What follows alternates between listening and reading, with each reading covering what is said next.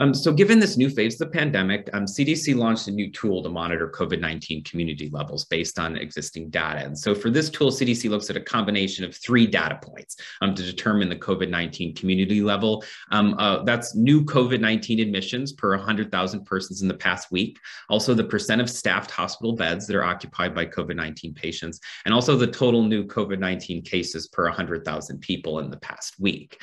And so the new COVID-19 admissions and the percent of staffed inpatient inpatient beds occupied represent the current potential for strain on the health system.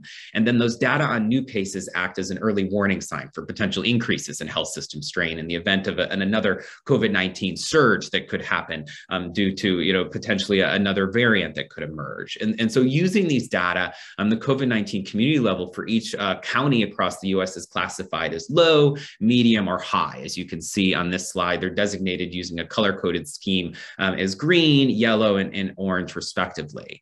And so of note, um, the COVID-19 community level is going to be based on the higher of the two when it comes to the new admissions and the hospital bed metrics. But this really is a straightforward streamlined system that helps us document what are those key levers that are going to inform and what are the data that are going to influence those recommendations when you need to go from um, a different levels, whether it be the, the low, medium, or high, as the um, uh, COVID-19 um, pandemic continues to evolve. Um, next slide, please.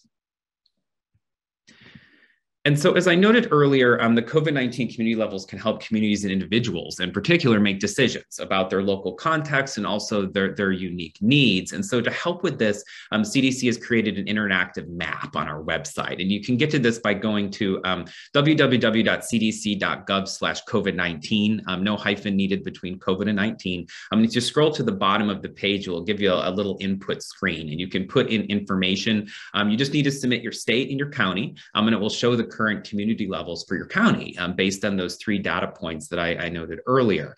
Um, and, and this COVID-19 community level map is updated regularly with the newest data available. Um, and so we encourage you to, to check it routinely to make sure that you make that fully informed choice about the, the, the best way to protect yourself from COVID-19, depending on um, those various um, data points that, that are informing the, the level that has been designated for that respective county.